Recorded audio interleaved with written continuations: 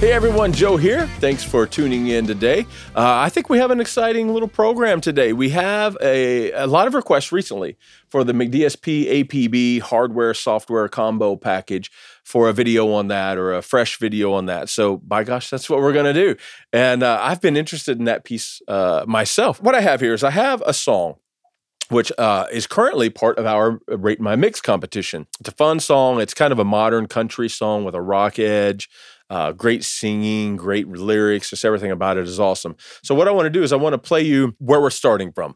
So, what I did is I opened up the song and kind of left the plugins on individual tracks. But if you know anything about my mixing style, I'm hitting some subgroups in a stereo bus, and, and that's where some big part of the sonics come from there, as far as kind of analog saturation, uh, compression, that kind of a thing. So, this is a perfect spot for me. I thought I would wipe what I had on the stereo bus wipe what I had on the inserts of the group masters, and we could start inserting the plugins from the APB um, across there and kind of see what it does. Let me hit play and let you see where we're starting from. Right now, there's nothing except this trim plugin because if I activate this uh, limiter, it's going to get loud and I'll clip our recording device. So uh, here we go. All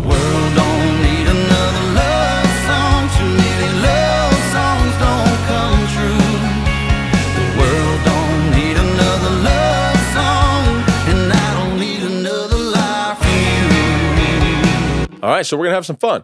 So what I think we should do real quick is familiarize you guys with the APB concept. Most of us know McDSP as a software manufacturer, uh, and they're one of the best. We all know this. I've been using them for uh, since the founding of the company, just about 25 years ago. But what they've done recently is they they've made a hardware box with its own conversion. 16, you can get it in an 8 channel or a 16 channel configuration.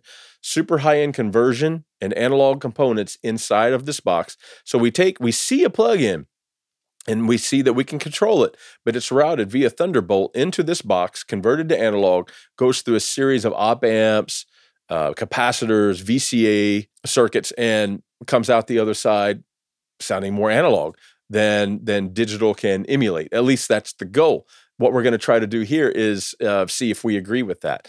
So uh, it's a lot of fun. Uh, what I have is the APB16, which means I can do eight uh, subgroups, um, or eight instances of on stereo tracks. But you can do 16 mono or some combination thereof, right? You can do the math. Let's just start with the drums. I'm going to mute everything. I'm going to bring up the newest plugin in their bundle, and it's in its factory default setting. And what this is, we're obviously we're not going to have time to walk through every plugin and every knob. You know, this isn't really meant to do that. It's kind of kind of be um, just as as somebody that really hasn't used it before, what it's like getting started, and does it truly fill that gap between software and all this glorious hardware that you see around me because there's times where I patch this in because I, I do feel like there's a thing. I love plugins. That this is not me saying you aren't capable of an incredible mix using nothing but plugins. I mix in the box all the time. But that said, sometimes there's a little bit of a grit, a little bit of a weight that I know I can get out of some of this stuff and I'll patch it in and print th- something through it or use it on uh, you know a stereo bus, you know that kind of a thing. Um, so I, I still have a, a real love for analogs. So let's see if we can get there. So here's the drums and bass together.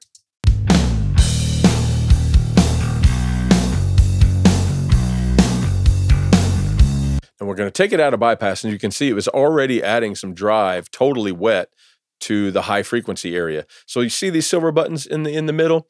That's uh, mostly focused on high frequency, low frequency, or full range. In this case, it's drums. I want full spectrum, and we're going to take our let's unlink these and turn our dry up and our wet down.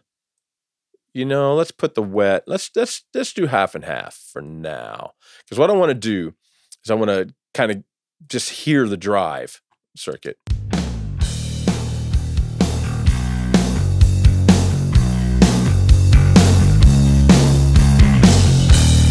Okay, this is a good time to to uh, let you know that this kinetics knob here that kind of controls the analog character of the breakup.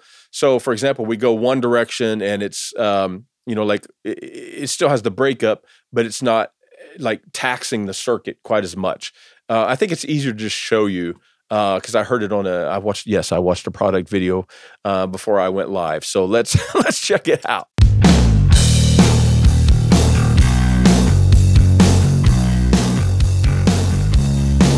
So we go counterclockwise to the left over here, and it has a lot of dynamic, right? If we go over here, it's like the circuit is being really taxed and clamped down on, and the dynamics are kind of gone. There's probably more technical terms than that, but what I want to do is I want to just start in the middle. And you'll see right under that, I will tell you there's a focus area where we have a frequency, a single frequency that we can select in like a bell, bell filter. And this is our amount uh, of boost that we can apply to focus a little more grit. For example, let's say we were using this on a snare drum, uh, I can see real value in focusing a, a little extra grit, grit, around 3K or 6K or something, uh, where the snare drum is providing some some some attack. So that is what that will do. But let's leave it in its default setting. Let's just add just a couple dB uh, of that, not very much. And let's start dialing in our sound. So we're going to add this much dry, and let's start adding. Well, first of all, let's make sure our dry is the same before and after, okay?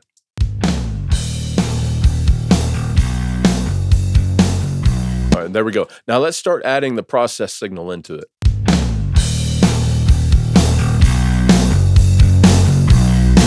Okay, so now what we'll do, I, I kind of like that amount. So let's link them together and then just turn the whole thing down until we really don't have a, a volume difference.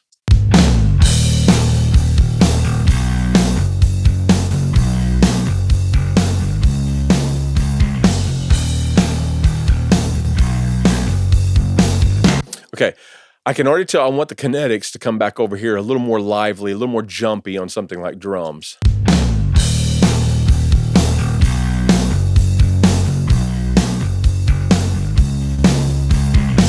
Okay, cool. So I'm going to do it before and after, and let, us focus on how sterile or unsterile the snare drum sounds. So I'm hearing analog flavor, absolutely. I'm hearing a grit on the attack that's kind of causing some form of consistency and leveling, but I'm also hearing a, an enhanced sustain. So check that out. Listen for those things here.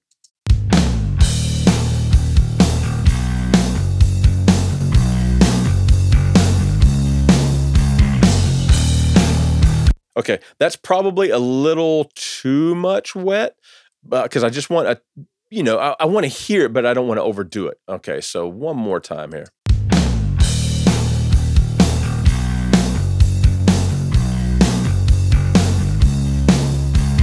Okay, now before and after.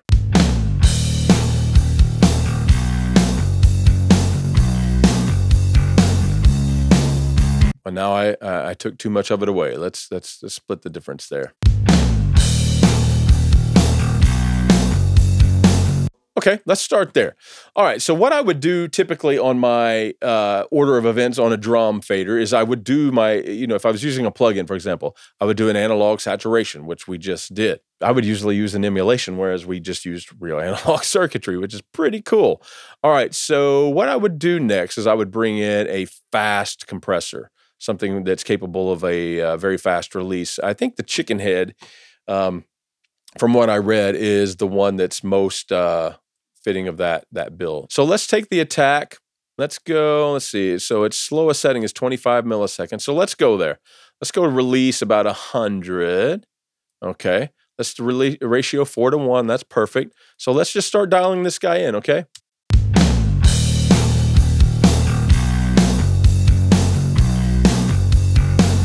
Now let's add a little of that gain that we lost.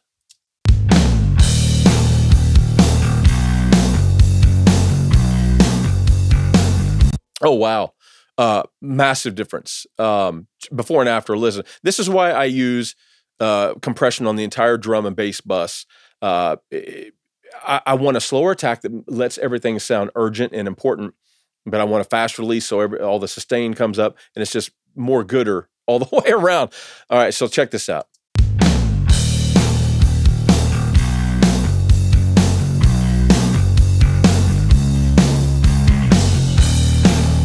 Okay, perfect. Now, one thing that I saw is this sauce button. To me, it was almost, they didn't say this, but it's almost like, you know, some transformers, like a, an iron transformer we, or steel, we can put that in and it adds a low frequency bump. And I feel like that's what this was emulating, um, even though that's not what they said. But it, it's definitely a low frequency thing. Let's check that out because drums and bass. Right? Let's see if the kick and the and the bass get a little cooler.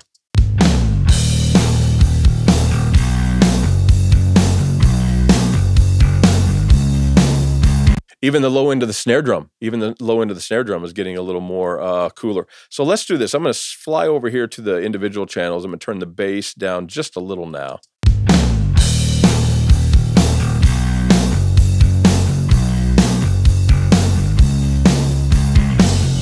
That's usually all the compression I want on the drum bus, enough to to make everything together, enough to make you know, the, like I said, the important things sound more important. A little increased sustain. Uh, it only takes a, a, really a dB is about all it takes for me. Okay, now I don't think it needs a whole lot, but we're trying to get to know this box, and so let's add a little EQ. So let's go down here to McDSP, and let's add the Royal Q. One thing I need to say is that um, these are not, as you can tell by looking, they they are inspired by certain things, but they're not a copy of anything. This kind of looks like a massive passive, right? The last thing kind of looked like an Altec, but that's not what they are. That's not the point. Um, it's just you know the designers of the GUIs and and and whatnot having uh, having a good time. Um, so that's good to know. So what we want to do, let's bring this in. Let's link it because it's a stereo thing. Let's turn the top uh, band to shelf and the bottom band to shelf. Let's go up to about 70 dB or so on the bottom. Let's go up to around 10 or 12. Let's go to 12 on the drums. Why not? And let's add just a little EQ, a little little air to the cymbals and the snare drum, a little little punch in the bottom of the kick drum, a little boop. Okay, let's see what we got here.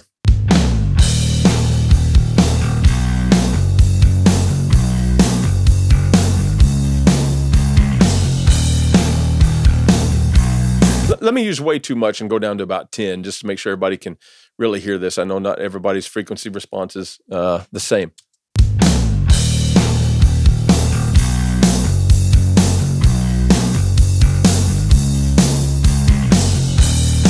So even at 8 dB of gain there, I'm not really hearing that those harsh artifacts. So it kind of reminds me of a of a of a you know a high end tube compressor. But so let's let's go to um, 10, 11,000 cycles. Add like two dB. Why not? And on the bottom, let's see what we got here. Wow, that that is bringing the thunder. One more time, just so everybody has a, a good idea of the flavor.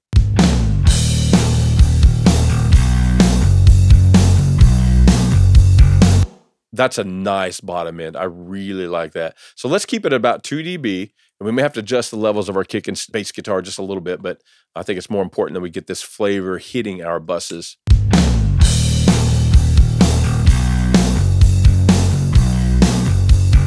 Yeah, let, us take the kick the kick down just a little bit.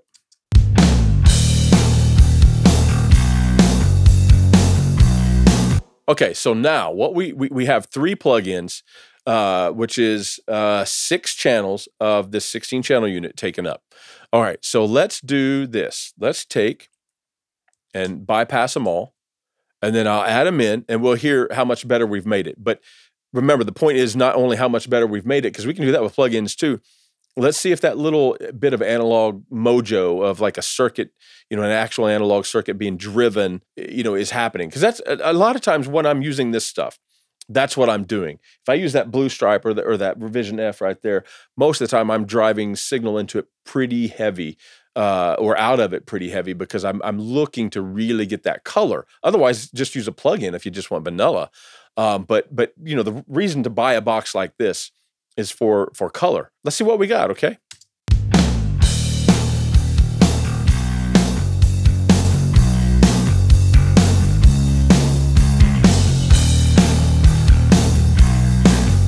Let's do that one more time. I know everybody needs probably just a little more time to focus their thoughts. Here we go.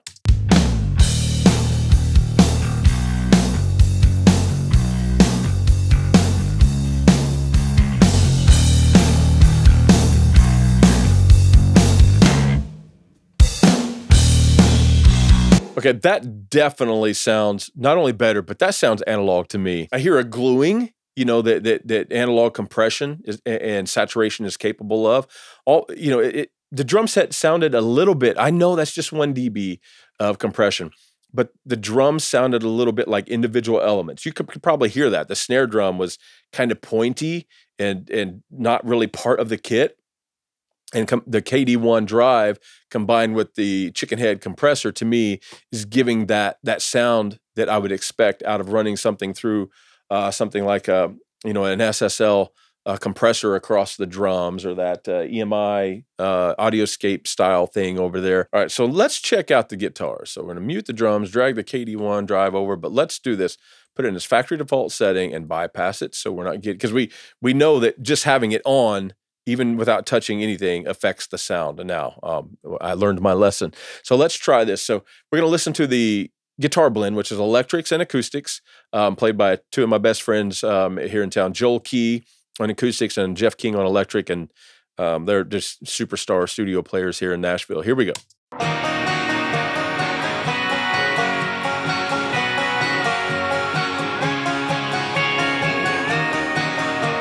Okay, cool. So let's do this. Let's put the drive on or the kinetic drive in and this time, instead of just dialing in by hand, let's take time because I'm not afraid when I get a new piece of gear. I'm not ashamed or afraid to just go look at the presets that somebody like uh, Colin at McDSP comes up with and see what they had in mind. Okay, edgy. Let's just do it. Let's just go. Let's go with it. All right. So bypass, and then let's insert it.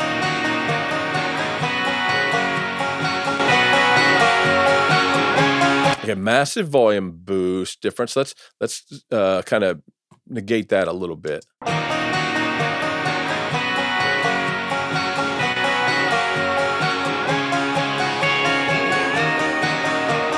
I like that. Okay, so that's quite a bit of drive. Kinetics, as you can see, are fully uh, counterclockwise, meaning it's lively, it's energetic. The the circuit is not oversaturating to the point where everything is just leveled off. Which uh, I wouldn't want that on, on this uh, on this because I you know I want the peaks of the banjo and the acoustic to still have some life. Uh, the focus is pretty high. It's set to about 550, uh, 5 dB, and we you know we're using a lot of wet. So um, that sounded great. I love that. One of the things that I like to do on guitar bus and groups is tie them together with compression. Not really for the sake of compression very much, though. It's more for the sake of using something like a variable mu tube compressor that has some zing into in it. So what I'm going to do is I'm going to use this newest uh, compressor they have here. I think this is the newest one called the Royal Mu. And the reason I'm using that is because um, it also has a little high frequency boost. So we can get a little bit of EQ out of it uh, at, at, at the same time as getting some you know analog style saturation plus compression. Now, what I like to do is, well, let's just see. Let's go into presets here and let's do present and accounted for. Why not? And we're monitoring gain reduction. Let's see here. Let's turn the gain down. I'm afraid it's going to be really, really loud. And uh, let's turn the EQ off for now. But let's leave everything else the same. And 250 on the attack and the release 250. Okay, that, that sounds like it would work for me. So let's check this out. It's a soft two to one ratio.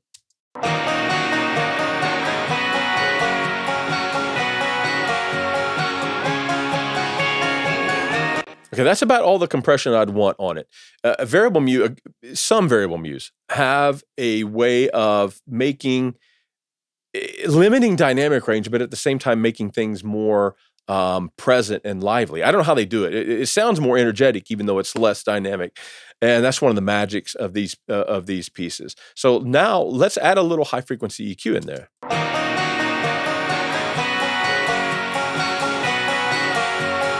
I don't think that's actually six dB of of EQ boost. Uh, the, the, um, I don't feel like it's 6 dB unless it's some maybe it's modeled on something like a Pultec, you know, a passive design that's so sweet that you can really go uh, heavy handed. So maybe that's what's going on. So let's check that uh, before and after.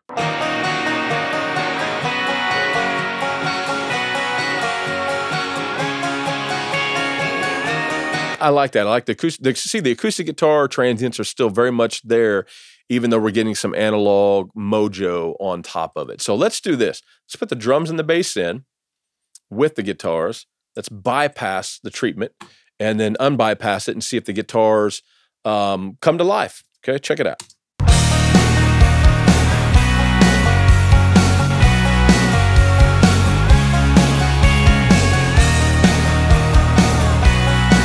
Yeah, absolutely. Let's let's do that one more time.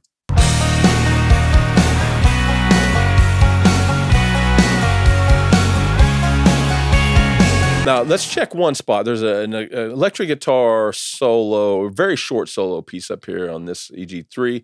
Uh, let's kind of see what I like to do. Um, is I like to be I like at that those moments when something within the guitar group gets really hot to get up to about two dB of compression, uh, and that's all I really want. So let's see if we're in that sweet spot.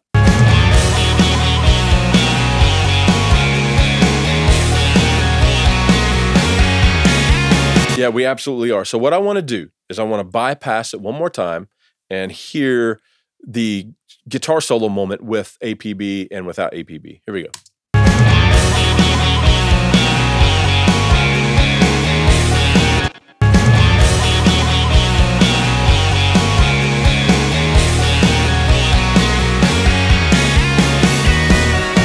Okay, cool. I, I, there's no denying the fact that this KD1 is having an effect. I'm hearing extra grit. Uh, in fact, I, I, feel like I want to unlink those and turn that down just a just a little bit, even though I'm really liking it. And then the the the compression is doing a good job of taking the high, you know, the the bite of the electric guitar leaving it pronounced and prominent, but somehow smoothing it out, putting it in the track just a little bit. That's what I'm the kind of things that I'm looking for when I when I do this kind of treatment. All right, so that's let's see what is that? That's five instances of uh, APB. Um, so we still have three stereo instances left. Um, actually, no, because I've got this limiter on uh, already, and that's why the trim is here. So make sure we don't kill our recording device. All right, so let's go to the vocals real quick and let's just tie something together with compression. So what I would like to do here is a lot one of my favorite tools is again variable mu style compression. And they have this piece right here that I know for a fact is while it's not modeled on a Fairchild, it takes that idea, uh, which is a different sound of a variable mu compressor than than what the um, Royal Mu was. So Fairchilds, first of all, there's quite a bit of time constant op- more than the original unit here has which is is cool. So we're going to have more attack and release uh, options which is which is great. So let's let's try something to to kind of lock this uh, vocal in place a little bit and have a, a a smooth release that doesn't take away the punch of the remain you know the words that follow it. So let's check it out. Girl, don't need another love song. Too many love songs don't come true. That right there don't uh, that don't hurt my feelings. So let's we're we're getting about two dB of compression. So let's make sure we're, we're uh, our output is turned up, our makeup gain is turned up a little bit. Girl, don't need another love song. Too many love songs don't come true. The world don't need another love song, and I. I, I like that a lot. I'm going to leave it right there. Uh, about about 400 milliseconds of release. Uh, you know what? Let's try just a little faster just to see what we, we're getting into. Girl, don't need another love song. Too many love songs. Okay, now let's hear that in the track and see if that punch is good or if we need to set it back just a little bit with a slower release. Girl,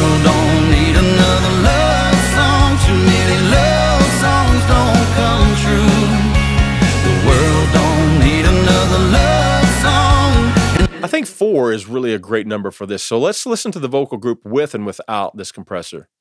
Girl, don't need another love song. Too many love songs don't come true.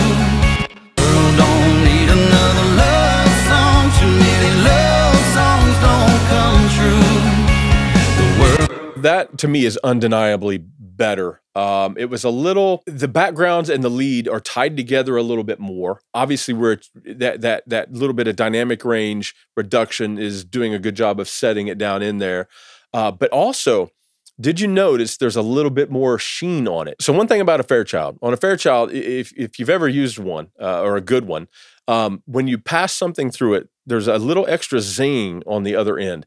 I don't know if it's a frequency response. I guess it would be a frequency response thing, but uh, harmonic content that that seems like frequency response, it's just got a little extra life, a little edge, a little air on it, and I feel like I'm getting that. What that could mean is that we don't have to put any EQ at all after the vocals. Maybe they're bright enough already. So let's. I'm going to play it one more time just so you can kind of hear it with those you know topics in mind.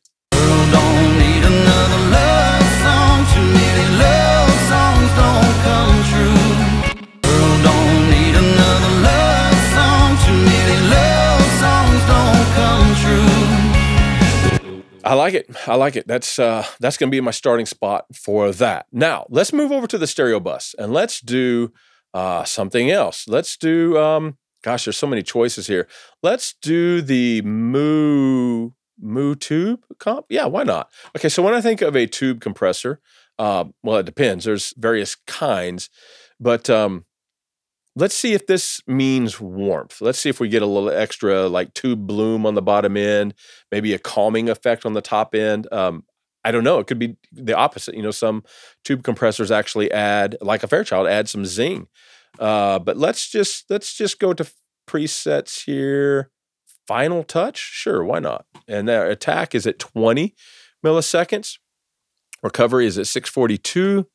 And um, let's turn our output uh, makeup gain off for now because I don't want added volume. And let's just dial this thing in. Don't need another love song. Too many love songs don't come true. World don't need another love. Okay, let's do before and after.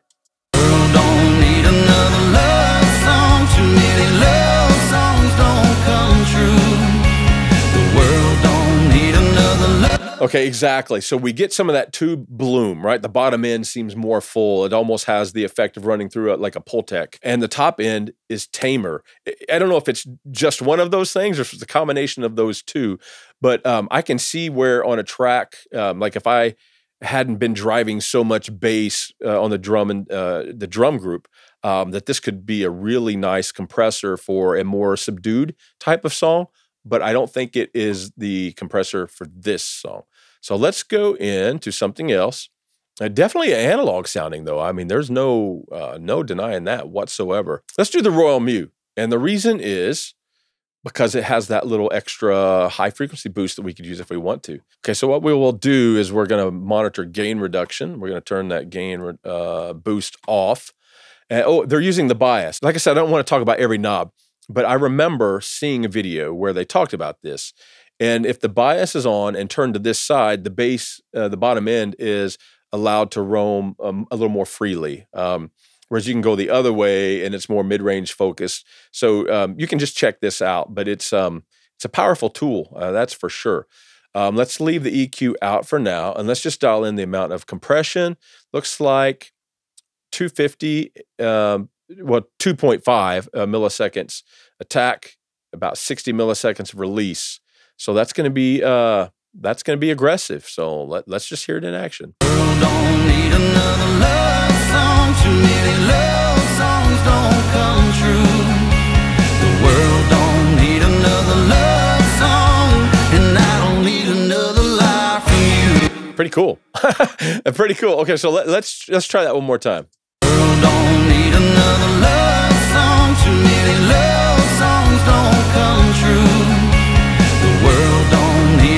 It's definitely doing the analog glue thing that I'm wanting to hear. It's 100% doing it. But what I want to do is I want this song to breathe a little bit more than this preset is doing. So let's slow down our attack to I don't know. Let well, you know what? Let's do a real common pre, uh, number for a lot of us. Let's do 10 milliseconds. I get it. This isn't a VCA piece.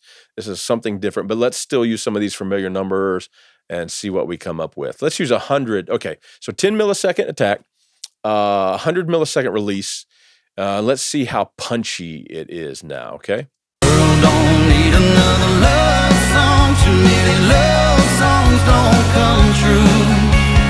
World need another love song. Okay. Now let's hear just the compression circuit before and after. Don't need another love song. Too many love songs don't come true. The world don't need another love song. I want just a little bit heavier hand compression, just a touch. Just not because it needs it, just because I want to hear it. Don't need another love song. Too many love songs don't come true. Okay, so that now we should uh, have two dB of makeup gain to take away or to add to the two dB two dB that we just lost. So here before and after. Don't need another love song. Too many love songs don't come true. The world don't need another love song. Cool, cool. I like that. Now let's add the saturation add some high frequency EQ. Because remember, this is kind of a soft uh, Pultec style passive sounding circuit to me on the top end. So let's add like, I don't know, 4 dB, 5 dB. Why, why not? Because it seemed, like I said, it seems soft. Let's try it.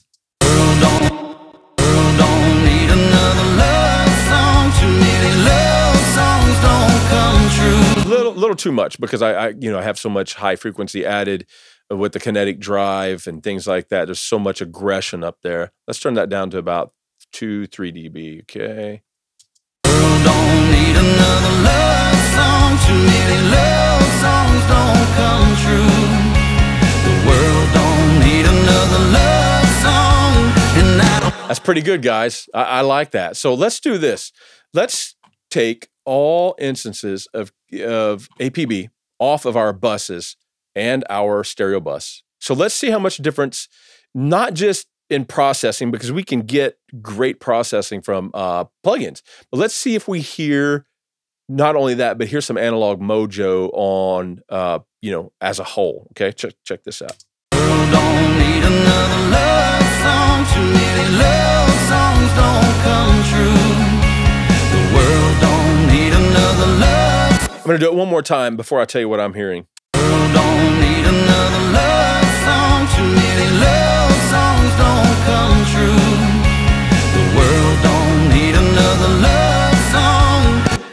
So when I do choose to go through my external hardware on stereo buses or on individual tracks, it's for two things: grit. Uh, I mean, just pure and simple, just angst and grit, and the other is for weight. You know, going tubes and real transformers just have this, this this fullness to them. I'm undeniably hearing that personally. Uh, I, you probably are too. I, I don't know how we could uh, say otherwise. So um, I'm definitely hearing the analog effect that they that they're going for. Okay, so now what we can do is I'm going to turn on. Now this is going to get really loud, but they've got a limiter here. Let's hear this limiter in action. Okay, turn my control room monitors down. Don't need another love song. Too many love songs don't come true. The world don't need another. Uh, that's a little too smashed. Don't need another love song. Too many love songs don't come. Let's play with the knee a little bit. Don't need another love song. Too many love songs don't come. I, I- feel like I like the liveliness of the knee on this side. Don't need another love song. Too many love songs don't come true. The world don't. And one cool thing about this limiter, it's got a color right that we can engage that also adds some EQ. So, for example, let's say we took the EQ circuit out of the Royal uh, Mu here and added it on the L1. Check this out. Song. Too many love songs don't come true. So what, I think that's really cool. So if we think our mix is a little bright, a little dull, even at the very last stage, we we have a knob here that will kind of kind of do that for us. So anyway, guys, that is just a brief summary uh, of what this thing is capable of. There's several plugins we didn't even touch on, but I, I think the question that most of you had is, does this thing sound analog? Uh, and I'll let you form your own opinions. I, I, know I've got mine now. Actually do feel like I hear no doubt like the the the, the circuitry over here the the op amps being toasty getting nice and hot and being overdriven. Uh, and i personally like that. That's when i choose for um, external hardware. But i'll let you guys form your own opinion. Be sure to comment below and let us know uh, what you guys think. But um, i think it's a really cool box. Now listen it it's expensive uh, you know but here's the thing when you think about it you're getting eight let's say we were we were buying eight high end pieces of stereo bus treatment, uh, stereo group treatment. Uh, So we were buying the pieces and the interfaces to do the conversion in and out and the cables, right? Think of how many thousands of dollars that would cost. Here we get the it's it's like the interface and the converters and the and the hardware is all bundled into that one price. So it's expensive, but at the same time, it, it's a bargain, you know, in, in that sense. So there's kind of different ways to look at it, but um, nonetheless, it's an extremely interesting thing. If there's anything we can count on from the friends, our friends over at McDSP and Colin McDowell, it's interesting. so, and he accomplished it. I, I, am a fan. I, I actually really like it. So, anyway, have a great day. Happy mixing, friends.